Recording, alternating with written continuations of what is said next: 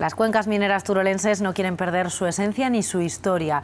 Y ahora, un taller de empleo restaura por primera vez en España el patrimonio ferroviario ligado al carbón.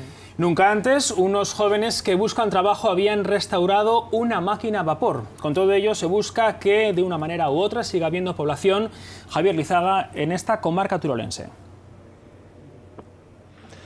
Utrillas tuvo una de las empresas mineras más importantes de España. El cierre en 2001 de la última mina supuso perder mucha población. Por eso lo que se recupera ahora también es la ilusión por la minería, aunque ahora como recurso turístico se han recuperado edificios completos. Hay un museo de lámparas, incluso un castillete. Y ahora se reconstruye lo que se conoce aquí como la Palomar. Estamos rodeados de las piezas que componen una antigua máquina de vapor que perteneció al ejército alemán en la Primera Guerra Mundial. Sus compañeras aquí había nueve ferrocarriles, algunas están en parques de atracción de Inglaterra. Lo que quieren es que esta vuelva a funcionar aquí.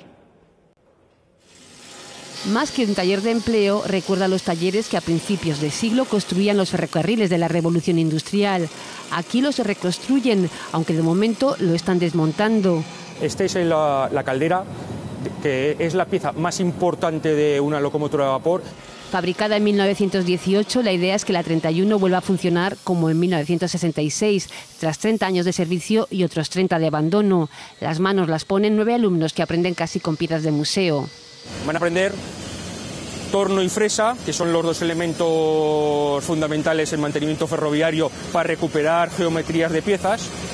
Y luego están aprendiendo la tecnología mecánica de un tren. Empujado por vecinos y antiguos mineros, este proyecto de voluntarios ha pasado de evitar que se pierda la historia de una comarca que exportó carbón a media España a atraer a miles de visitantes. Porque no quiero que se pierda el patrimonio, como yo, mucha gente de aquí, que se pierda el patrimonio histórico de, de Utrillas, que creo que merece la pena conocerlo. De hecho, pues la gente que viene, claro, no sabe lo que es una mina de carbón, la mayoría, y los niños les das un trozo de carbón y bueno, se quedan alucinados. Esto es carbón y esto arde. El próximo paso, recuperar la vía que llevaba el carbón a los lavaderos y que ahora llevará a los visitantes al pueblo. A la cabeza seguirá esta máquina.